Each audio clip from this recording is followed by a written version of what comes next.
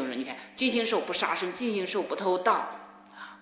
那么在你就是发愿尽形寿不杀生的时候，你就对所有的众生呢，都实行了一种无畏的布施。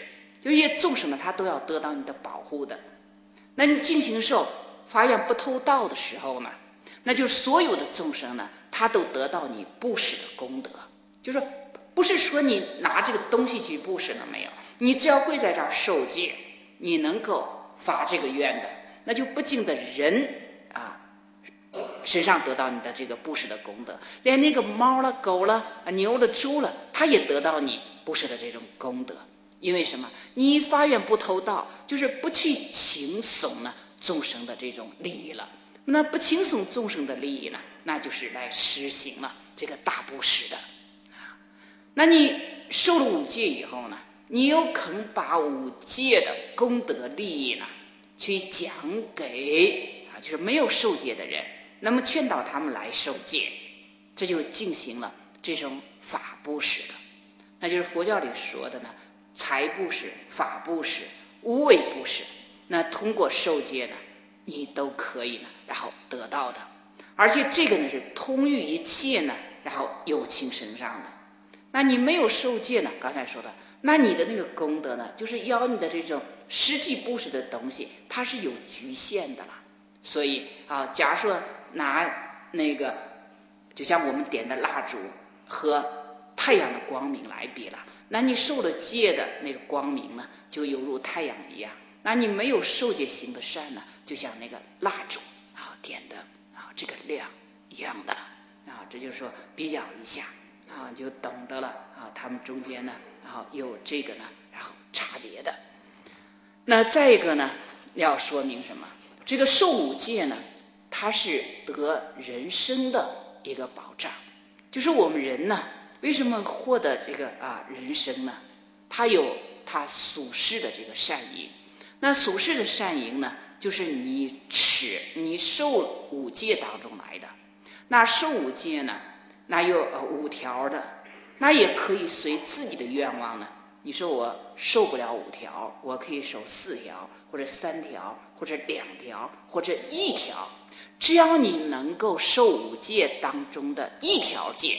那这也是你得人生的因的。那要修学佛法呢，一定要懂得呢这个人生的这个宝贵的。所以啊，那修法之前为什么要思维呢？就是暇满的人生呢难得。那什么是暇满的人生呢？啊，那就是经里头有讲嘛，啊，就是呢啊这个人生啊啊你要获得一种呃一种呢这个暇满的。人生呀，就是你有这样的条条件，也就具备了修学佛法的一种条件。如果你得不到个暇满的人生呢，常常就说到这种八无暇的，就是八种情况，它都阻碍你呢来听闻修学佛法。那比如说，你堕落在三个道，地狱恶鬼出生了，这是肯定了，说你难于修学佛法的。那你呢，六根不具足呢，就说盲聋喑哑了，他也障碍你呢。然后修学佛法的，那有一种世间人呢，他很有学问，那但是呢，他世子邪变从的啊。现在有些人呢，他根本不来学习佛教，他不了解佛教，但是他自己说呢，说佛教呢是迷信的啊，那我科学呢才是唯一的啊，就是说值得可信赖的所以这个常常呢，就是执着于他所学的啊，他就认为呢啊，这个佛教呢。就说不可以接受的，那这种人呢，他称为世之邪变从，他没办法对佛法呢生起来这种信心的，他用种种的我们说的那种狡辩了、诡辩了啊，他来树立他的那种啊理论的，所以这种人呢，他也是很可怜，你看他也没办法呢来接受啊佛法的，那还有呢？啊，那他呢？啊，就是像有些人呢，他遇不到佛法，那生在佛前佛后的。那我们生在虽然生在佛后呢，但是释迦牟尼佛呢有这个遗留下来的教法，我们能够闻到。那假如说以后呢，啊，那有些人的福报越来越少，他连这个佛遗留下这个教法呢，他都听不到了，说那也是很可怜的。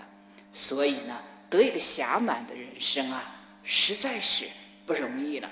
那你怎么样来利用这个暇满的人生，让他度过呢？然后最有就是最具有意义的，而最能体现人生价值的，就是我们要呢接触佛法、修学佛法。那从这个当中呢，真正的了解到呢，这个人生的宝贵呢，就是在于呢，它是由五界的善因而感召的这个殊胜的报生，而借助这个报生呢。人的话呢，啊，你看你有思想，你可以接受佛法，告诉你怎么修行的话呢，你会去修行。那么真正的呢，然后能够呢，就是说按照佛的教法呢，然后去修。最简单的，你以五戒去修呢，你将来的保障呢，这就是得到人生的这种保障。如果继而呢，你再去修呢，啊，比如说你有法心啊，然后持之啊，就是说出家了等等。那出家干嘛？他是修出离法的嘞，啊，那你就能够得到那二圣的那种解脱的。我们常常说的话，声闻缘觉的。那如果你再发心呢，受菩萨戒呢，那一定发这个成佛度众生的心，那你可以呢，然后受菩萨戒。就是佛法呢，啊，它分的这种，跟家说这种等次的不同了。那有人天圣的，有声闻缘觉啊，这个圣的啊，那么有菩萨圣的。有佛圣，那个圣呢也念称啊，啊，那个称呢为什么不念称呢？因为它是个动词的啊，就是乘车。如果念圣的，它是个名词，叫人天啊圣呢啊，就像一个车了。我不啊，我可以呢乘这种车达到我的目的啊。那就是菩萨圣呢，就是我这个车大得很，我还要呢不仅我个人坐，我还要让其他人坐。你像声闻圣的话，我只是我求我啊解脱。所以他各个啊圣呢，有他各个的啊内在的这种修法的。那我们要想来世呢再得人生，那你必须呢，然后从丙受呢五戒当中来，因为丙受五戒呢，我们受五戒的时候是净行受啊不杀生，净行受不偷盗的。那个净行受呢，它就是一辈子的意思。当我们受了戒以后。这个戒体呢，是尽我们的这种性命。我们活着的时候，这种戒体在的。那我们啊，就说这个报生尽了，就说人呢死掉了，那他戒体呢随之呢也就失掉了。那菩萨戒呢，它是敬畏来记的，就是你现在呢发心受菩萨戒。那虽然你这个人呢，就说死了。呃，纵管你堕落到猫了、狗、狗了、猪里头去了，那你你的戒体还在，就是猫菩萨、狗菩萨。你在现在你说我再重新受菩萨戒，它只是一个重新受而已。那五戒的话呢，那就是说的你性命呢失掉，他的戒体就没有了。那我们现在又获得人生，又知道了戒法，我们再来呢，然后这个受的。所以呢，啊，这个受戒呢，它是得人生的这个。这个保障的啊，那如果懂得这个意思呢，就是假如你不为着成佛，也不为着求解脱，你单单想要再获得一个人生，你没有五戒呢，是绝对啊不能的。所以就说在六道当中，经典里面讲嘛，就说为什么人生这样宝贵呢？